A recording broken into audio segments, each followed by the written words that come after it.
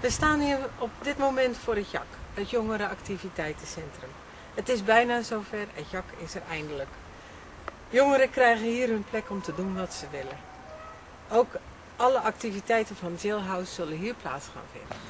Wat heel belangrijk is, is dat de jongeren zelf verantwoordelijk zijn voor de invulling van de activiteit. Weliswaar wordt die verantwoordelijkheid met het georganiseerde jongerenwerk van de gemeente gedeeld.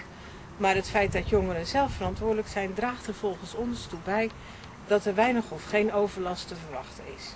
Er, natuurlijk, er wordt natuurlijk ook de nodige aandacht besteed aan de isolatie van het gebouw.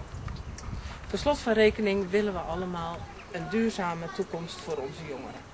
De Partij van de Arbeid is over, overtuigd van de noodzaak van het JAK. Eindelijk komt er iets voor jongeren.